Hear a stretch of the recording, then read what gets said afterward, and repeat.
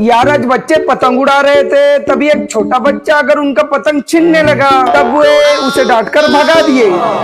तब वे मेरे पास अगर मेरे को बोलने लगा कि मुझे पतंग चाहिए। तब मैं एक पेपर लेकर आ गया और अन्य सामग्री भी, और कुछ इस प्रकार से पतंग बनाने लग गया। और तैयार है हमारा पतंग।